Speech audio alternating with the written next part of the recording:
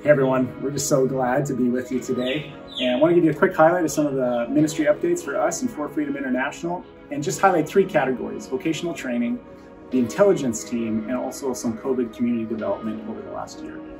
2021 was a unique year, but an amazing year as we saw new staff added and we saw great opportunities for new outreaches into the island here of Phuket.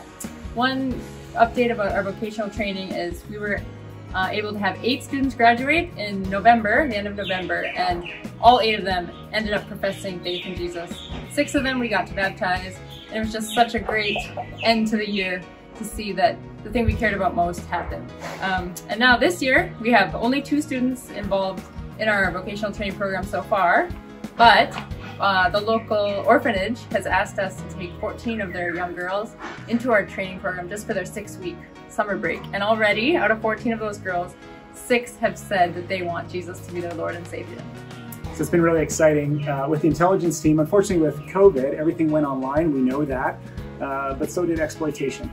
And so our intelligence team has really seen open doors over this last year as they support the government with uh, forensic equipment uh, to, and, and, actually intelligence officers that do a lot of research. And some quick stats would be they've done 18 forensic interviews, 17 cases, and, the, and our social workers have had 97 Jesus-centered uh, conversations with women and children at risk and who have been exploited. So that's been an incredible yay God. We're excited about that.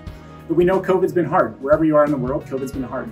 And so one of the things that we've done is actually focused with the governor and with the province on COVID support. And so that was uh, hundreds of food, dry food packages. There were milk packages with families with babies that didn't have access to milk. Supporting foster families who want to share the love of Jesus with many as they foster. And all this, uh, praise God, is that the governor gave us an award, the organization award for all the work. And so that is only because of Jesus.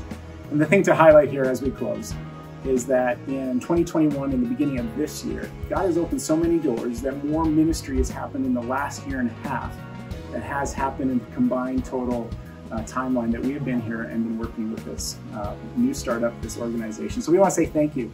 Thank you for your generosity, uh, how you give, and how you are on mission and making His name more famous there and allowing us to do that here. God bless you.